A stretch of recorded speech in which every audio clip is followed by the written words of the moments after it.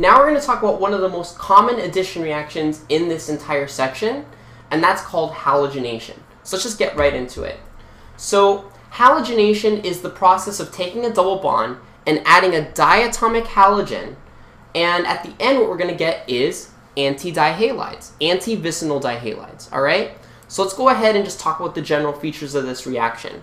First of all, the mechanism is going to have an intermediate, and that intermediate is going to be similar to other ones we've learned. It's going to be a bridged ion, okay? So maybe you can already start to visualize what you think that might be.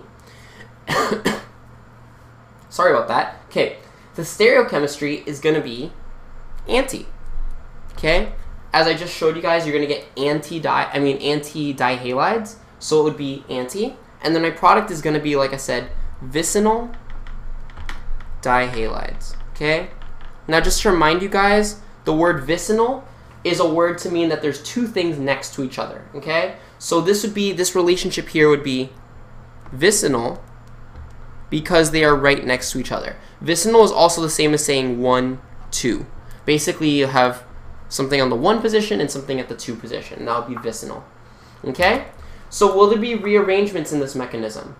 No, there won't be because there's no carbocation.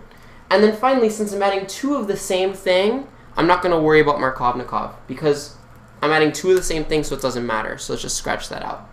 Okay?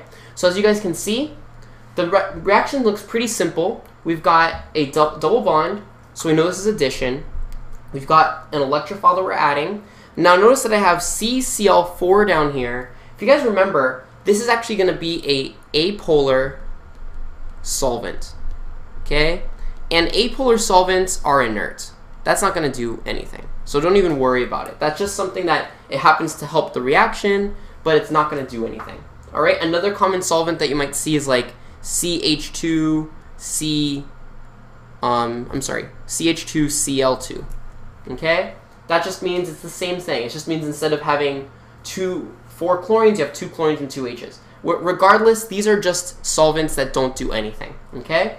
At the end, what we get is those vicinal dihalides. Let's go ahead and look at the reaction.